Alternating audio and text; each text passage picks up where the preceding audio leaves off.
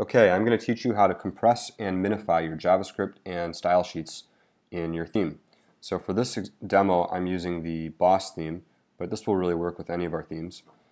And first, let me just show you what's going on. So I'm going to go ahead and view source in my browser, and I'll do a search for .css, which is what our style sheets are. There are 15 style sheets being loaded, and .js, you can see there are 41 JavaScript files being loaded. Some of these are coming from the theme, some are coming from various plugins, and some are coming from WordPress itself.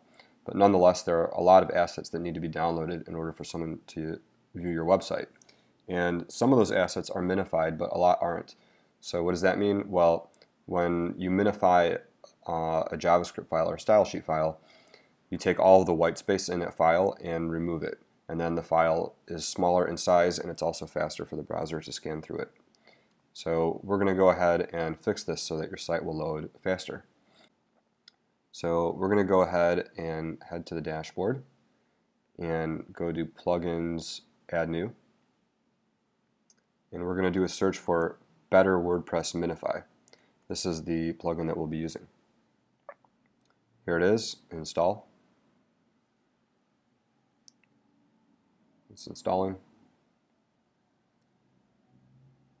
And activate. Okay, so that plugin is set up, and then let's go to settings. Okay, so we're going to want to leave uh, uh, compressing JavaScript files and style sheet files checked. This is the whole point of the plugin. And then let's enable leaving external files at their original positions, just in case some plugins are doing this. We don't want to break anything. And then for Cache Buster, basically what this is doing is appending uh, a number to the end of the style sheet or JavaScript file that's being outputted. So actually let's save this and take a look at the front end real quick. And view source and we'll look for .css. So it still shows 15 files but it's not actually 15. Um, .css is just being put in the file name a bunch of times and really all of our style sheets except for the external resources are combined into one one, one minified file. So you can see this is just all the styles from the site all combined together, which will make everything considerably faster. And .js is doing the same thing. This is one big JS file. But you'll notice what is missing here is something appended to the end. You can see it's just .js. So what happens is if, if you're using a content delivery network, um, whenever you update your site, the URL is still going to be exactly the same, and the content delivery net network will not know to bust its own cache, and that means you'll start serving stale files in the content delivery network after a while. And so we want to append a number at the end like this. So the way we're going to do this is in Cache Buster, we're going to use cache folders last modified time. Let me save that. And it's effectively a random number that's put at the end. So if I refresh this, you can see now it's got this string of numbers at the end. And every time you uh, refresh the cache for your minified files, that number is going to change and it'll therefore cause your CDN to be up to date. And then cache age, we can set this to be whatever we want. I'm going to go with seven days because uh, why not give it some time. Now, one important thing to remember here is anytime you update your theme or update your plugins or update WordPress, this is still serving um, the minified files that are in the cache for the next seven days. So that stuff's going to be stale. And when you update a or plugin, chances are, or, or WordPress, chances are it's updating style sheets in JavaScript. So this is really important. You're going to want to go in here and click flush cache every time you do that so it regenerates everything. Okay, let's over, head over to advanced options. This is all for integrating with a content delivery network. You can use this. Uh, I don't. I recommend using a plugin specifically for content delivery networks called CDN Linker. Um, you can just search that in Google and the first result will be GitHub. You can click download zip here and upload this plugin.